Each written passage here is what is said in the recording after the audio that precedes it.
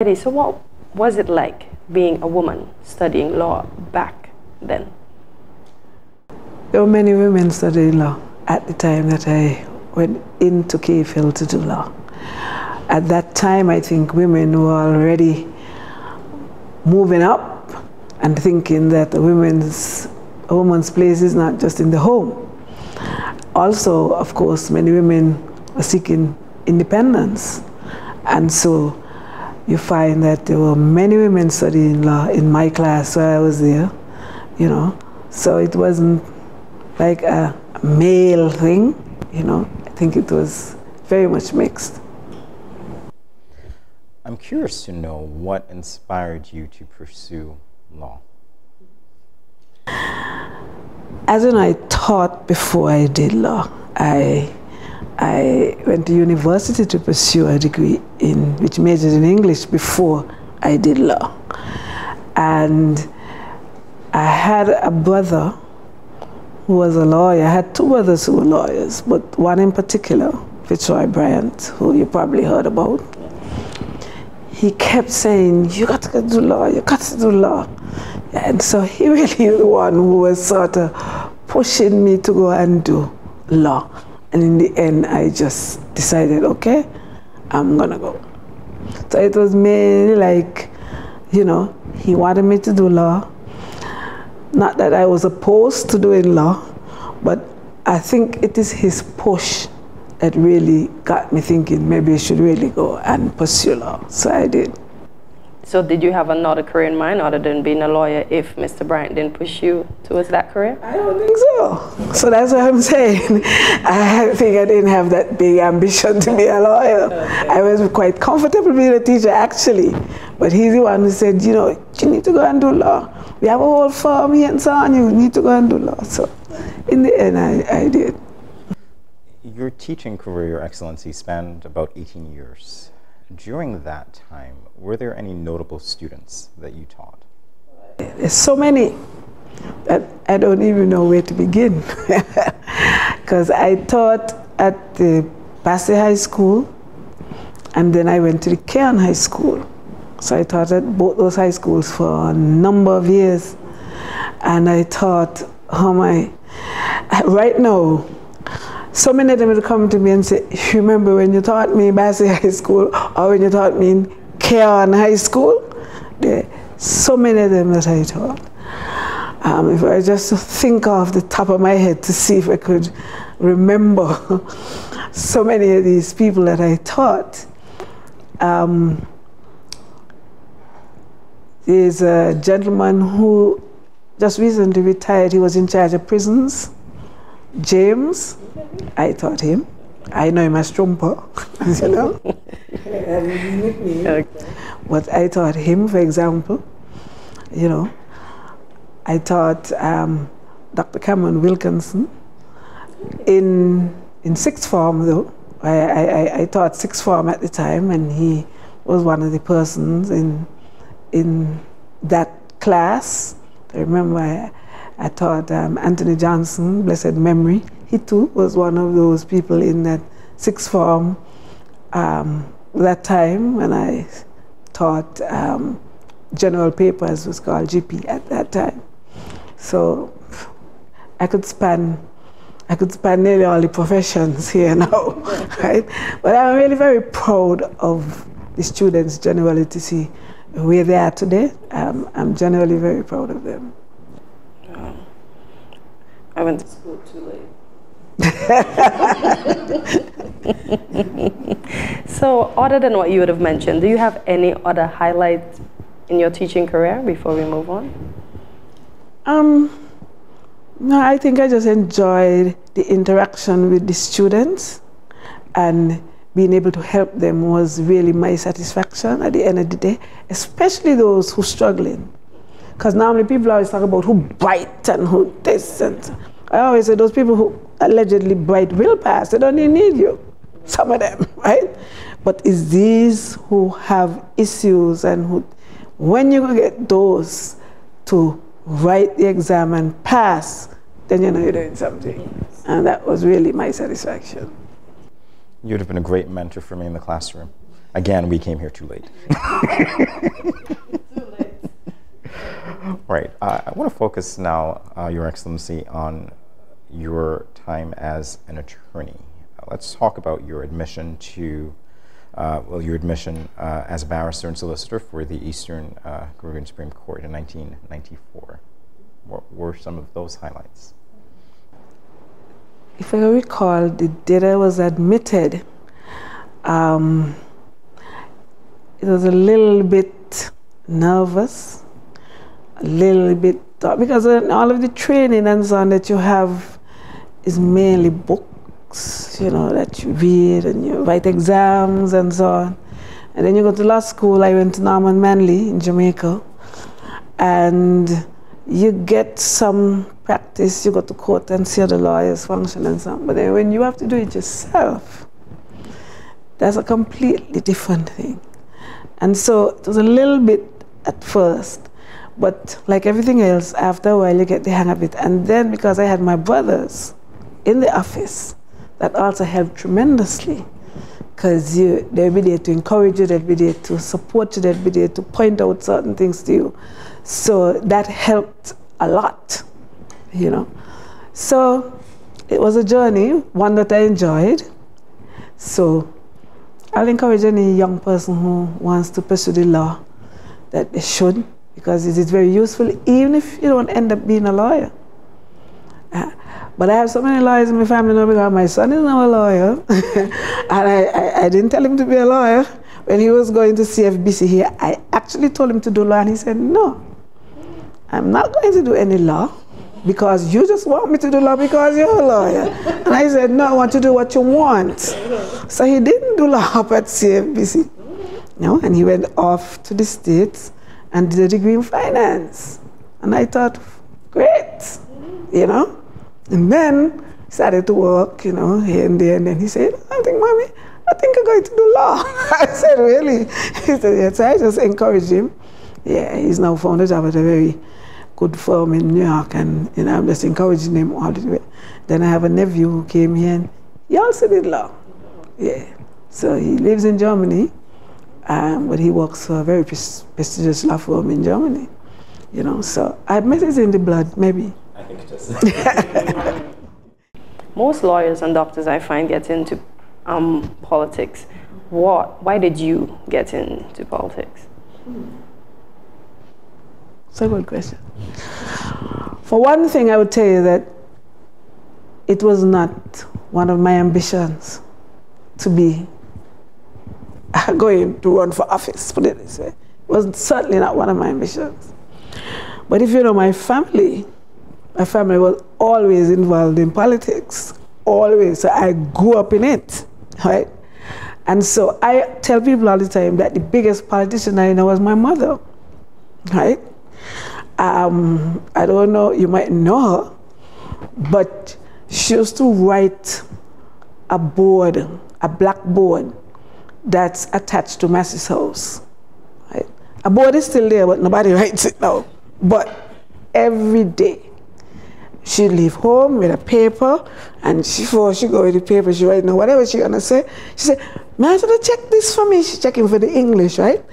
Check this for me. So I'll check it and she would she chart and she write the board, right? Every day. It became a tourist site. Tourists would stop, take pictures of the board, take pictures of her writing the board, and I remember distinctly at that time, ECCB, what is now ECCB, was ECCA. And Eastern Caribbean Central Authority changed to bank now and their offices were directly opposite Massey's house. You know, that building on the exact opposite side of Massey's house.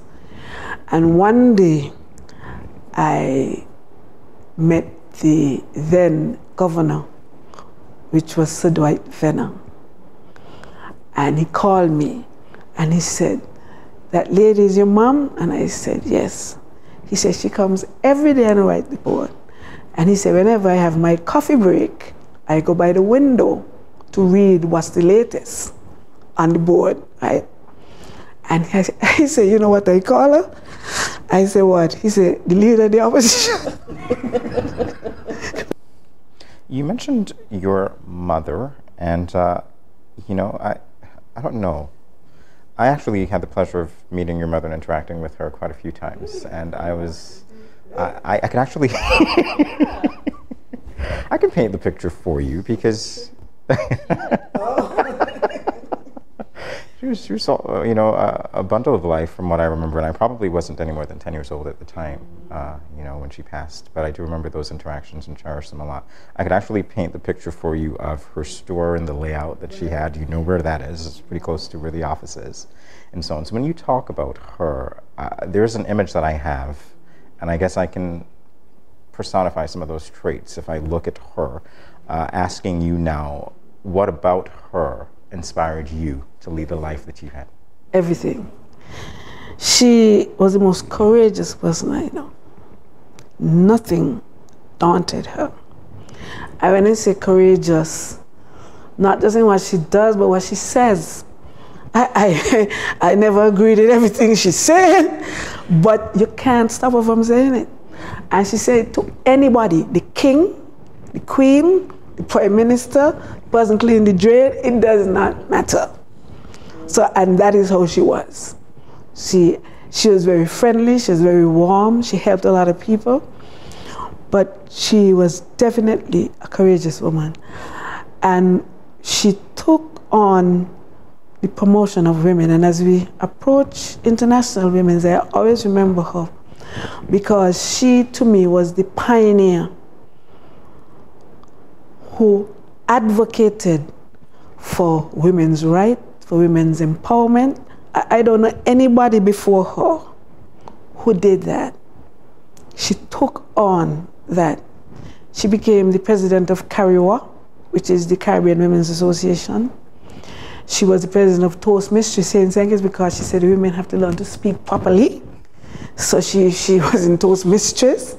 She was the she was the person who represented a trade union women here in St any women's organization that you could think about, she was the person who was carrying it right here in St.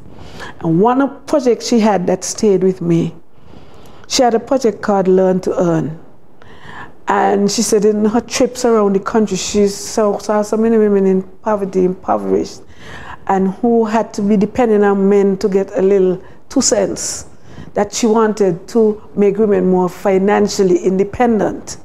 And so she got this project Learn to Earn, and she got some sponsors from the States, however she got them to sponsor this project. And so she started these cottage industries. You know what cottage industries are, right? That is just little businesses that they set up in their homes. That's why they call it cottage. Yeah, in their homes. And so she got these people to come in to show them how to, how to, to do hams, how to cure ham, how to make jellies and jams at the time how, how to bake different types of things and so on. And she carried out all these training throughout the country, especially for rural women. And at the end of the day, a lot of them did set up these cottage industries out of their homes and start selling all these things, curing hams for people and so on, so that they could make their own income. And I thought that was so impactful. But that was how much she um, felt about women's empowerment. Um, the other thing that stays with me, a lot of things stays with me, of course, about her, which I want to pass on to you and to all young people. When we're going through all our battles and so on, regardless of whatever it is and so on and so on, she will always say, do not let anyone define you.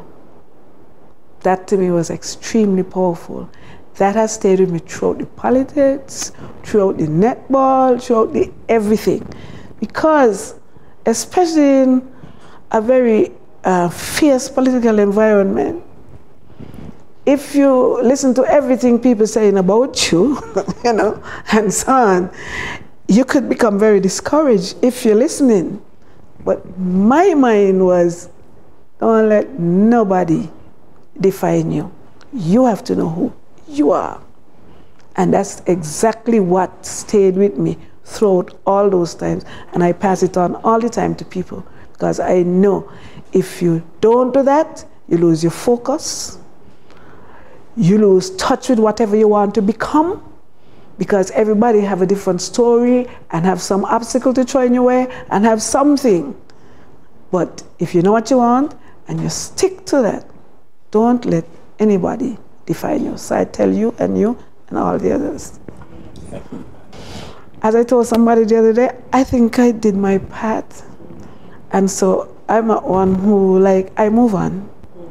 Yeah, all the time. Even with the netball, I, I was president, and when I was the president, to be honest, if you ask anybody, I had the whole park rocking.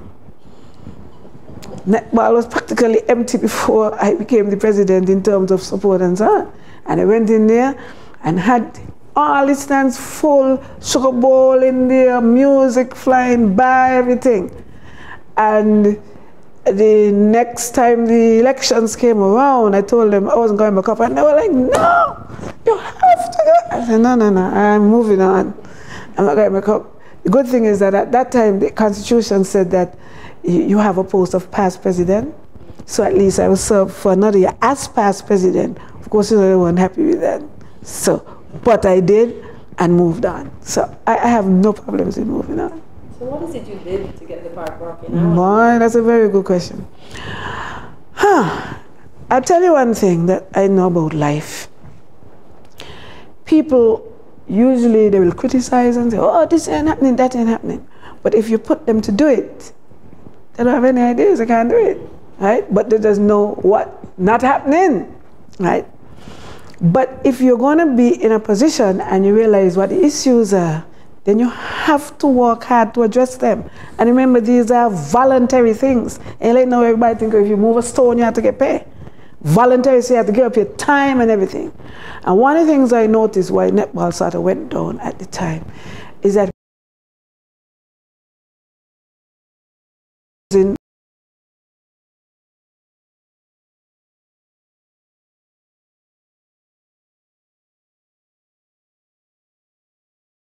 And we went from community to community, right? Find out what's happening with the young girls in this community, why they're not playing netball, especially in areas where they were actually netball fields. Nobody really using. So we went from community to community throughout the entire island. At the end of the day, we came up with a list of those who were saying, look, we want to go back to play netball. So I then went and set up a set of coaches. And I said, okay, you're coaching Dieppe, you're coaching Sandy Point, you're coaching Saddlers, you're coaching this. I will send the coaches around the island to help the situation. And of course, you know, you keep monitoring and so on. And so at the end of the day, we were able to get those teams back into play in the, in the tournament. So with the teams came the communities because when Sandy Point plays, some Sandy Point people are going to come to the park to support them. And so we were able after a while to just fill up the sand and I got like sugar bowl involved, you know, so at, so at the game itself, you have this kind of like commentary thing which people liked, and then the music in between, and the bar and everything. So in the end, we were just able to fill those stands with people. But like I say, it's hard work. And nowadays, one, you can't get people to give up the time to do these things. And two, they want to know how much. it's different now, it seems, but I'm marveling at the fact that you were able to do that, to go and see that need and actually bring community spirit back together so that everybody could appreciate netball. About that. So those were the teams who were ahead of us at that time, 1979. Indeed, indeed. So let's talk about your role as minister, right? We know you were the Minister of Health, Social Services, Community Development, Culture, and Gender Affairs. And you were instrumental in drafting several legislation, two of which we will touch on today. That is the, the Domestic Violence Act and the Equal Pay Act. Can you touch a bit on those for us? Well, as Minister of Gender, um, basically, when I think about it now, I really wanted to do two things. I wanted to further empower women, because you know, I still have a long way to go even now. But at the same time, not to isolate men. Because um, I find sometimes that when we say in women and women's empowerment, um, we forget that they are men. And as you know, a lot of our young men are falling between the cracks. So it can't be just women empowerment. It has to be women empowerment, but you also have to make sure that the men are looked after. And as I was telling somebody, my mother had six children, five boys and one girl, right? And so I was looked after by my brothers. As a matter of fact, um, Dr. Kathleen Ferdinand, my friend, she always said to me, when she said, You're the only woman in the cabinet. She said, Anyway, you're accustomed to that, you're the only woman in your house. Right? She said, Maybe if you had a bunch of sisters, it might seem strange. And she's right. In the cabinet, I was comfortable because it's like deja vu. It happens in my house, you know. Five men in there and me, you know. So, but back to the Domestic Violence Act. So, part of that empowerment of women had to do with the Domestic Violence Act because we had many situations um, that we know that we really needed an act like that to try and address a lot of the issues that were coming up at that particular point in time. Equal pay, same thing, right? We, we didn't have a very big problem with respect to equal pay, but there was a problem. And so we work out, look, we have to address that problem to make sure that nobody future could think that they could have any discrimination in pay between males and females. On the flip side, as I was saying, um, a lot of men coming to me and saying, man, I ain't looking after women, I just thinking about us. So we were able to also do some legislation that I've mentioned to help the men, and they were very, very happy for that. For example, um, child support. There was a time when the women always get child support regardless, even when the children don't live with them. And I was like, how is that fair? So we had to adjust that legislation to ensure that the men could get child support if the children live with them, just as the women get child support, and they love that. We adjusted that legislation as well. So they, they, they admitted other things with respect to may affecting males. For example, I think there was a legislation where if you interfere with a little girl, you have up to 10 years. You get up to 10 years. If you interfere with a little boy, you get up to two years. And I'm like, why? It's the same thing. And so again, we were able to adjust that legislation so that it was 10 years. Boy or girl, right? So there's lots of things we did inside there um, while I was a minister. That's good to know. Do you miss it? Huh? Do you miss it? If I miss it, um, at one point, you know, because I always think for me, politics is the only avenue where you have access to resources that you can help people, right? Um, and so um, that was it for me. Um, if you have access to resources that you can help people, especially those who are most vulnerable, then why not? So it is from that angle, you know, when no, you could only help so much, when you could have helped so much, if it uh, only from that angle. But after a while, as I told somebody the other day, I think I did my part. And so I'm a one who, like, I move on. All the time, even with the netball. Wealth of knowledge. I think we need to make this a regular thing, Your Excellency, although I know that you're quite busy. But this is amazing. Right, so you talked about netball. I want to speak a little bit now with you about women in leadership in general. And I want to get your perspective, as it were, as to, and something you alluded to before, as to how much further do you think we have to go? We've made progress, obviously. You spoke about your experiences in Cave Hill when you saw that you know there were quite a few women there. We're in 2023. What are your observations? Um, I think right now they're doing the right thing in terms of putting women in leadership positions because that has been one of the biggest issues. Um, we, in education, um, as you know, a lot of women qualifying, masters, doctorates, this, all sort of things. I don't think there's an issue there. And they're leaders in their own right. But when it comes to leadership in private and the public sector, you go on, you still see that there's really a scarcity there. And you have to ask yourself why. Because if it is that they have all these doctorates, masters, this and that, how is it that there's still so few women in the boardrooms, in the parliament, right, which is really the top level leadership? I had a view at one point that leadership should be taught in these schools, right? Especially leadership, women's leadership, because men things leadership to me it comes almost natural, because people that's people's perception. When I was running for office at one point, people said, "Well, you want to be a little, A leader, men is who do this, right?" So people have that. And you sit in the church, I mean, women can preach in some of the churches. I mean, that's the tradition, I'm not knocking it. But um, that's really, I think, we are, I think here in St. Kitts and Nevis, we're beginning to see, you know, um, that we see, you know, we have the most women in our parliament right now, right?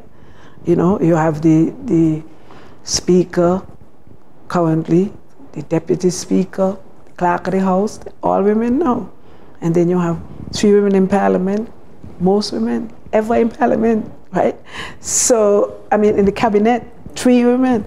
So I think that the leadership side of it is one of the things that we need to look at. And I remember um, I went to speak on behalf of someone who was being called to the bar, a, a, a woman. I think it's Ermeline Sebastian, but I'm not sure. But I went to speak on behalf of one of them, and I kept saying, you know, like women this and women that. And the judge said, Miss Liburd, what are you speaking about? Don't you see they have more women lawyers now than than think more women this and he was like, you know. I didn't get a chance to answer it, right? what would you have said to him then? Just what I'm telling you. Okay. Right? Just what I'm saying to you. Yes, I, I agree. I mean, we've done a lot in terms of educating women and so on. Mark you, some of it we have to take responsibility for. Because I know I've approached a lot of women to run for office, for example, and I'm shy away from it. I am not kind of saying that they shouldn't shy away because it's very difficult. Very difficult for women, but you have to start someplace, right? And so I encourage as many women as possible, you know. I mean, if you look at the Prime Minister of she says she's retiring now. I think it's, it's either New Zealand or one of them. She's a female. After five years, she's retiring. And people saying, yeah, I mean, it's the whole pressure on her as a woman. Men don't retire. You know that? don't get much pressure. but, you know, that's how it is.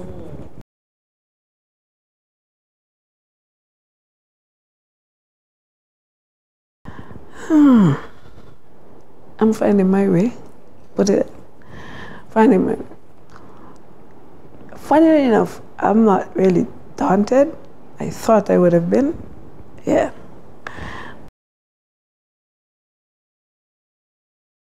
And when I stopped to think about it, I said, why is it you're not daunted?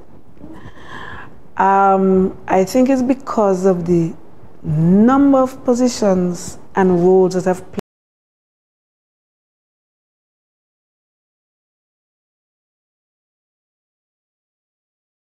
It's not new in some areas. For example, courtesy calls. I had courtesy calls when I was a minister. So I, I understand now it was kind of new to me when I became the minister. Courtesy calls, you know, all you have to do and. But I did that. And so now people pay courtesy calls on me. It's the same thing really. So it is not reinventing that wheel. You now know somebody's paying the courtesy call know what you need to do and what you need to say, and what you need to. So a, a lot of it is um, something that I have experienced before, right? Um, the other thing is that, and that's one of the projects I have actually. Maybe you guys can help me with it. I've noticed, not just now, people generally, right? In St. Kitts and Nevis, I guess other countries as well, they don't really know what the role of the Governor General is. They don't know. When I listen to them, I'm like, really? By and large, as you know, a lot of things people come to these conclusions by perception. Whatever people perceive, that's what they believe. But sometimes the perception and the reality are not one. So you might perceive something where it's not really so, but you believe it because that's what you perceive. And when I listen to people, generally from long time, they think, oh, the government is just the queen's representative here. Well, now the king, right? So you really have anything to do. You're just here representing the queen, you know, and people have that false view. Yes, you represent the king, but you have lots of other things to do, right? And so I'm now embarking on a project to try to educate the public, especially the children, as to what really is the role of the Governor General, quite apart from being the king or the queen, in this case, the king representative. And so, the other reason why I'm not daunted is because I have to be in accordance with the Constitution, which is a document um, that I'm familiar with.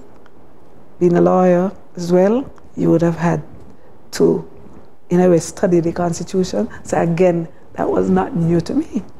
What I have to do is to make myself um, very familiar with the parts of it that says what is the role of the Governor General, so that I know what I can do and what I can't do. Because the two things I have to do, and which I'm committed to, is to abide by the Constitution, what it says the Governor General has to do, and to abide by the two oaths that I took when I um, became the Governor General.